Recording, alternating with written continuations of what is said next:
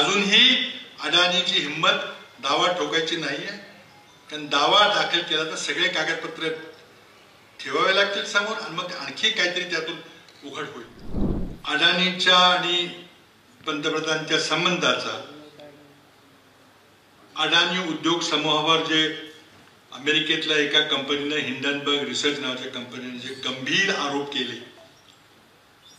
जाहीर आरोप केले एकशे चार पानाचा अहवाल सार्वजनिक केला.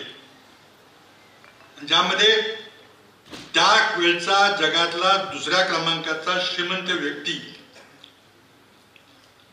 हा जगातला प्रचंड मोठा फ्रॉड आहे धोकेबाज आहे.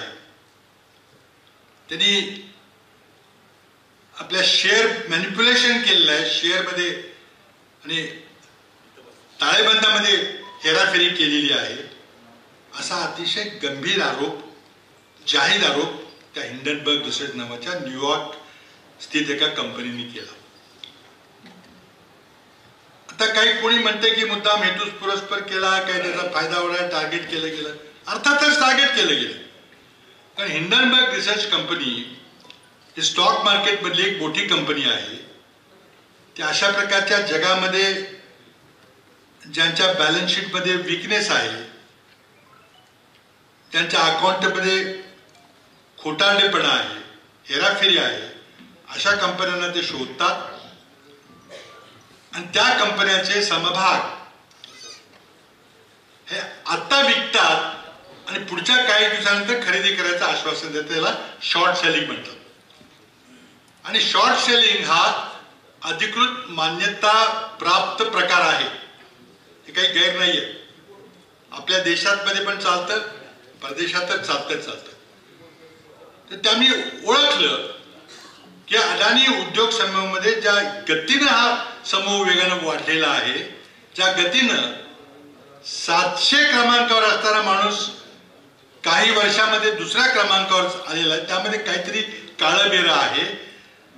हिंडनबर्ग रिसर्चने खूप अभ्यास करून विश्लेषण करून माहिती घेतल्याने चोवीस जानेवारी दोन हजार तेवीसला आपला हा एकशे चार पानाचा अहवाल प्रकाशित केला.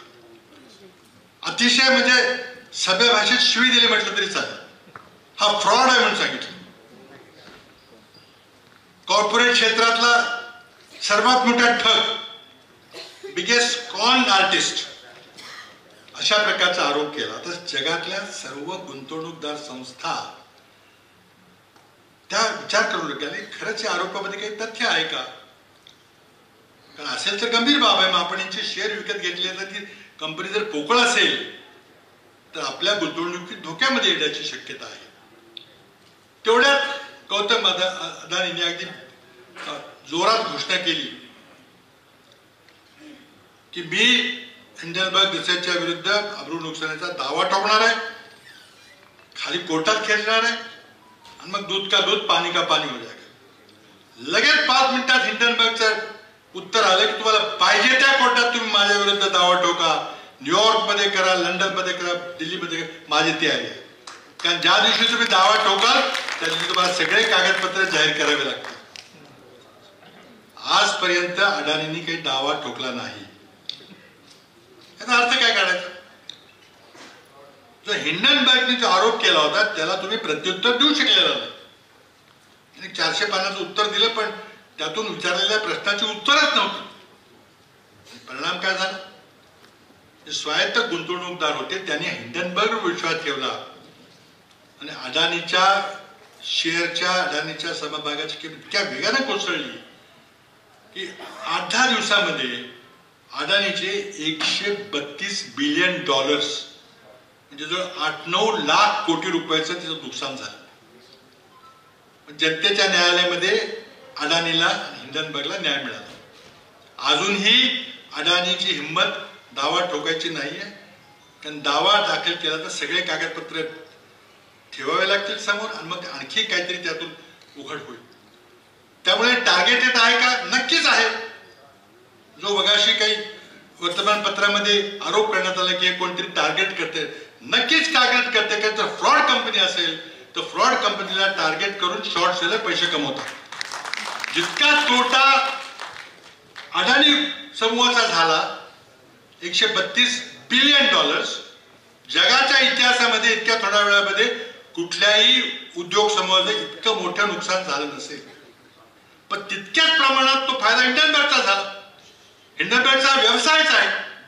त्यांनी यापूर्वी अनेक अशा खोटारड्या कंपनीच्या विरुद्ध कारवाई केली त्याला बंद पाडलेला आहे. बंद पाडलेला मी सांगतो तुम्हाला. ज्या ज्या कंपन्यांच्या विरुद्ध इंडियन बँकने कारवाई केलेली आहे त्या पूर्वीच्या कंपन्या बंद पडल्या. आणि त्यामुळं टार्गेट कोण करते खोडसाडपण करते याला काही अर्थ नाही. जर फ्रॉड असेल तर तुम्ही कोर्टाच्या इन्क्वायरीला सामोरं जा. तुम्ही स्वतःहून सेबीची इन्क्वायरी मागा स्वतःहून रिझर्व्ह बँकेला सांग की माझं सगळं सूर्यप्रकाश इतकं स्वच्छ. सगळे अकाउंट्स आहेत मला कशाची भीती नाही पण ते होत नाही.